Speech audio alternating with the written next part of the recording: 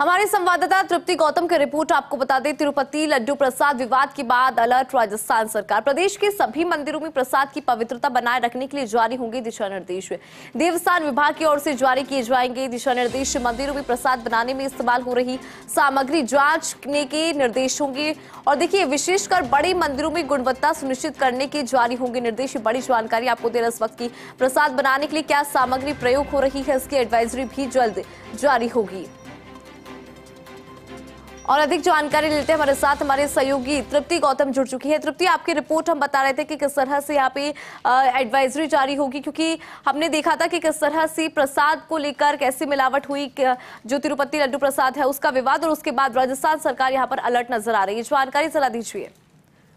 बिल्कुल, इंदु, मैं आपको बता दूँ कि आंध्र प्रदेश का बहुत ही प्रसिद्ध मंदिर, तिरुपति मंदिर है, उसका बहुत बड़ा विवाद चल रहा है कि वहाँ का जो प्रसिद्ध लड्डू है, प्रसाद है, उसमें पशु की चर्बी और कुछ मिलावटी घी जो है उसमें मिलाया जा रहा है और ये जो मुद्दा है बहुत बड़ा बन चुका है, हर जगह चर्चा का विषय बन चुका है, राजनीतिक मुद्दा भी इसको बनाया जा रहा है। और इसको लेकर राजस्थान सरकार जो है वो गंभीर नज़र आ रही है। भजनलाल शर्मा, सीएम जो है वो यहाँ पर अलर्ट होते हुए नज़र आ रहे हैं और इसको लेकर देवस्थान विभाग के अधिकारियों के लिए दिशा निर्देश जो है वो जारी होंगे। मैं आपको बता दूँ एडवाइजरी जारी होगी और एडवाइजरी ये होगी कि निश्चित रूप से, नियमित रूप से प्रसाद की जो चेकिंग की जाए, किस तरीके का गुणवत्तापूर्ण उसमें सामग्री इस्तेमाल हो रही है, उसकी चेकिंग की जाए।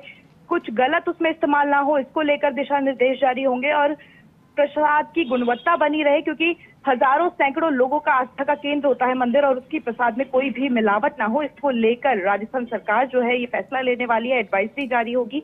प्रसाद की चेकिंग होगी और ये नियमित रूप से होगी। सभी अधिकारियों को इसको लेकर दिशा निर्देश भी दिए जाएँगे और कुछ ही समय जिसके बाद में एडवाइजरी जो है वो जारी कर दी जाएगी, क्योंकि इतना बड़ा मंदिर कहा जा रहा है, प्रदेश के जो बड़े मंदिर है, उनमें तो होगी ही, उसके अलावा छोटे मंदिर जो है, उनमें भी ये एडवाइजरी जारी होगी। क्या क्या कुछ इस्तेमाल हो रहा है, क्या कुछ सामग्री इस्तेमाल हो रही है, उसकी पूरी तरीके से जाँच की जाए।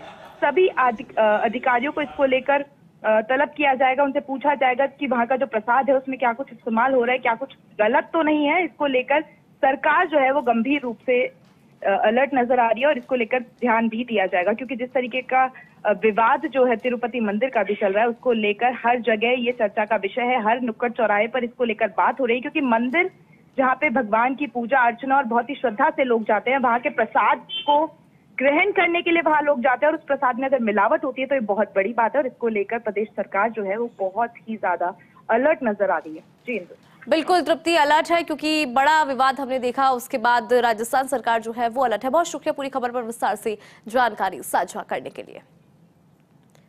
तो जानकारी आपको दे दी, मंदिरों में गुणवत्ता सुनिश्चित करने के निर्देश यहाँ पर जारी होंगे। प्रसाद बनाने के लिए क्या सामग्री का प्रयोग हो रहा है, इसकी एडवाइजरी भी जल्द जारी होगी।